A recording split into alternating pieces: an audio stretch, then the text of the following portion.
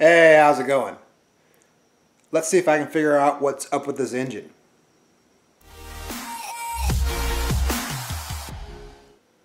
Now, if you've been watching my videos, you know I bought a 4x4 with a Vortec engine. And when I checked it out, the oil pressure was not great. So in this video, I'm going to tear into the engine and see if I can find the cause.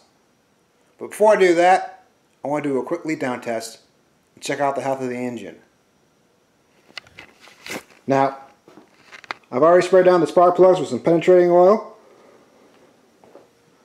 I got my leak down tester over here. Quick tip, you ever buy anything that comes with a bunch of packaging foam? Save it.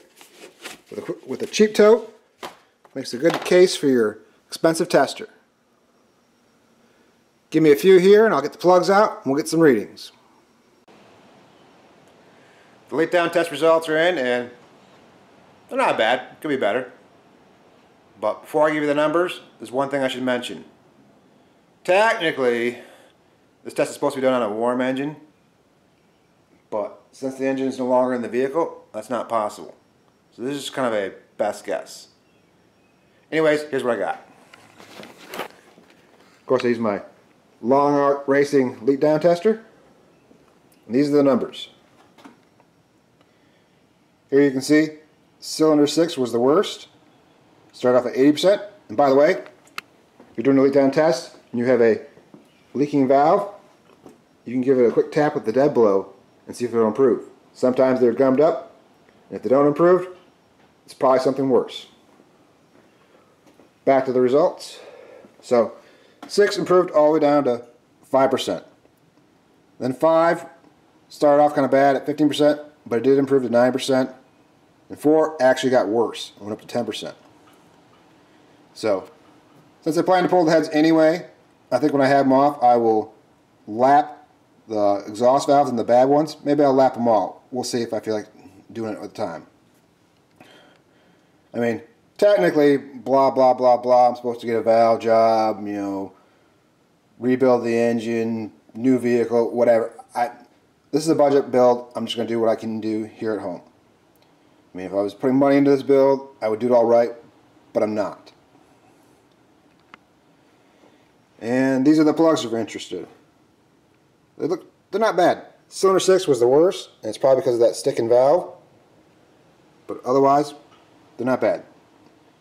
I don't know how long they were in there for, but the gaps didn't open up too bad.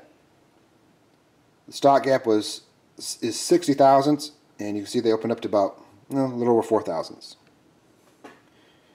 Now, before I get into the oil problem, there's a few other things I wanted to mention. When I pulled the distributor, I noticed that the gear was starting to wear pretty decent. Now, of course, this wouldn't cause an oil pressure problem. I mean, eventually, if it went completely out, there would be no oil pressure, but the engine would stop running before that. Still, it would be a potential future problem and cause the engine to run poorly.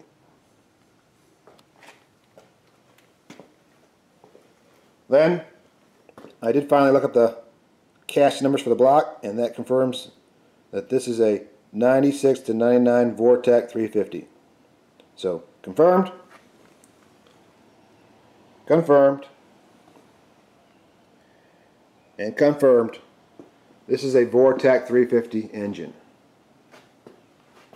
While removing the engine, there was a few obvious signs that had been worked on before.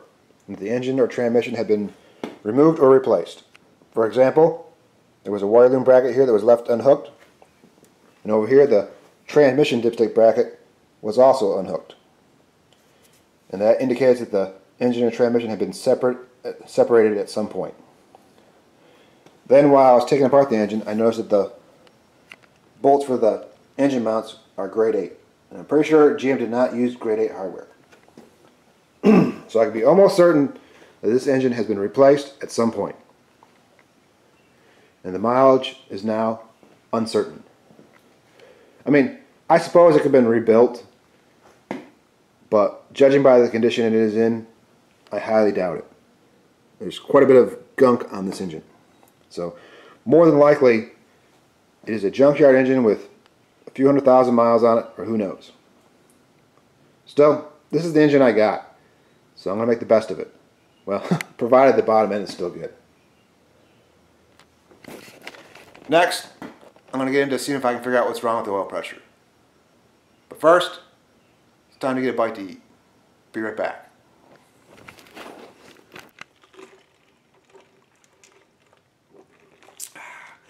Refueled and ready to go.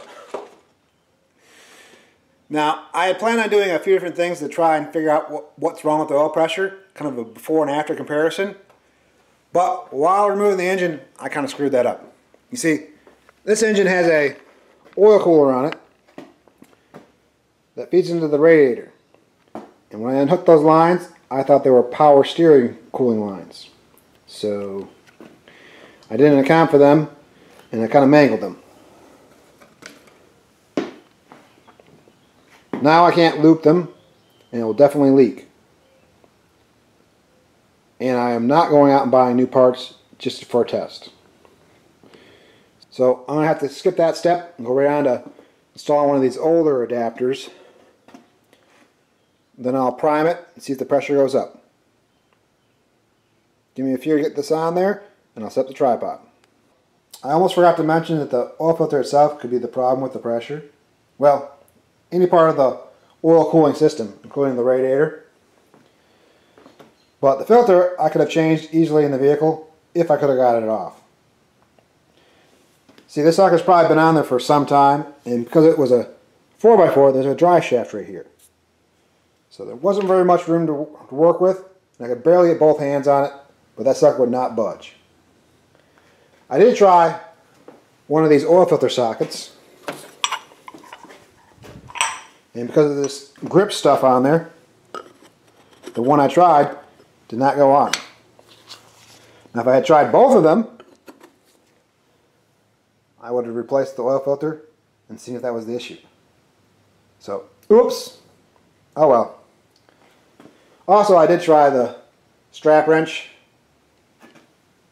but that only resulted in starting to crush the oil filter, and I didn't want to mangle it on the vehicle. Anyways, let me get back to taking this thing apart. Here's some quick info. As I mentioned earlier, I'm changing one of these older style oil filter adapters. And they have a bypass valve. And an old performance trick is to remove and plug that bypass valve. There's the valve removed. And here you can see on this adapter, I've plugged it. Now, this modification should be only done if you're going to use the vehicle in warm weather and you're going to let the engine warm up nice and good before you rev it. Otherwise you can burst or blow off your oil filter without a bypass. In order to do this modification you need a quarter inch NTP tap and of course quarter inch NTP plugs and I use some red thread locker because I don't want to come out of there and that stuff is kind of like liquid weld. This is the gasket you're going to need. And by the way, that old gasket was a pain to get off. It was really baked down there. They even RTV'd the seal for the cooler adapter.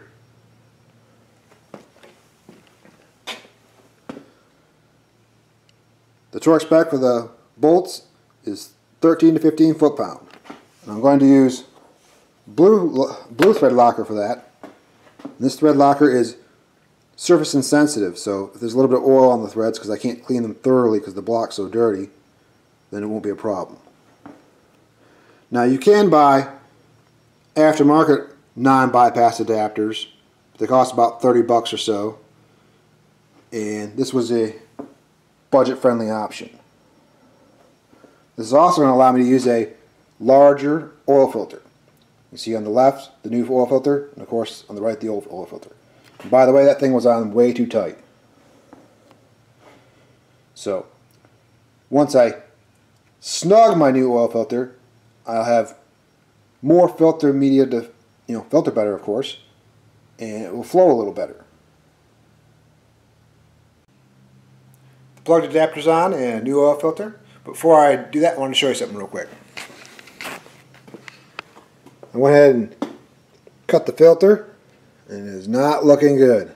There's a lot of trash in the bottom You can see the trail trash dripping off the filter. And as I spread the pleats in the filter, there was plenty of trash trapped in there too. So things are not looking good. Some of it is magnetic, but not all of it. So here we go.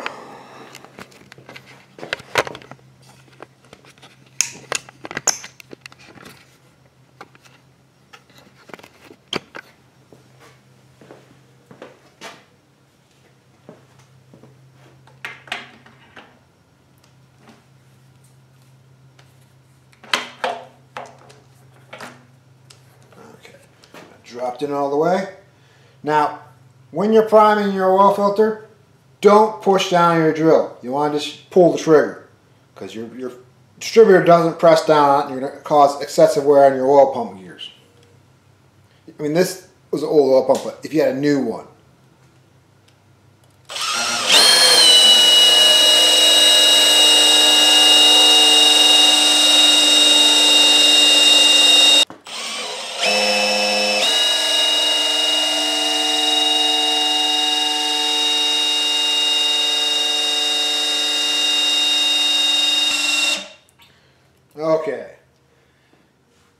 not bad. I mean, I usually see that on a regular engine, about 40 plus.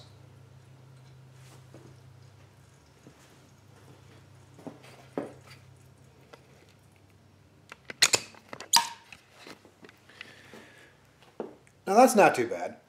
I mean, I did read about people getting more PSI when they remove the oil cooler, so we'll see. Next, I need to tear out the top of the engine, drain the oil, I'll flip it over, pull the pan, get in the bearings, and I'll show you what I find. Holy cow, look at this. You can barely see the head bolt because there's so much trash in there. If I stopped and showed you every messed up thing about this engine, this video would probably be way too long. But check this out.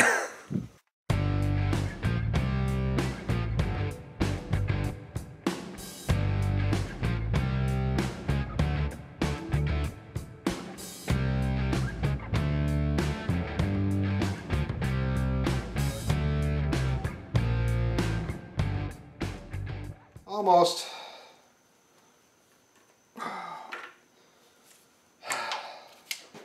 Two down, 14 to go. I'll finish after I check the bottom end. Good news, I found the problem.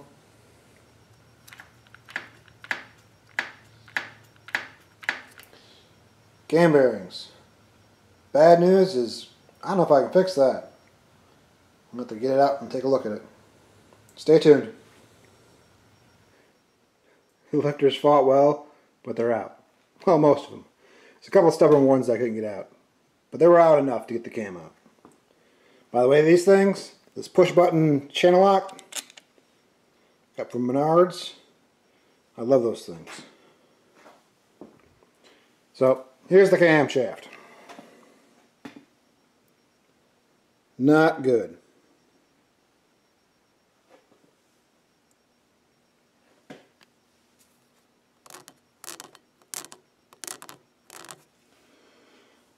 Bearings are toast.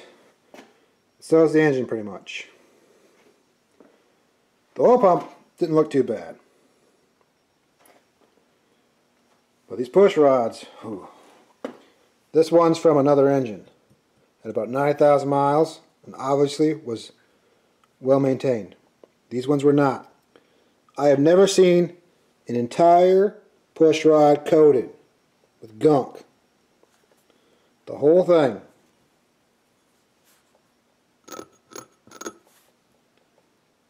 That's nasty.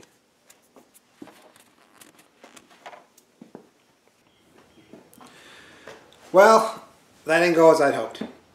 I wanted to try and fix the engine and save it, but at this point, it's going to need a total rebuild, and I'm not doing that. I have better cores to rebuild. It's not the point of this project. I want to use an engine that already runs, do a few mods to it, drop it in, cruise it, and have some fun. So, all I can do is keep moving forward at this point. I'll prep the intake. I still got the Vortec heads. I'll find another engine. I'll figure it out. So, thanks for watching. Keep it real.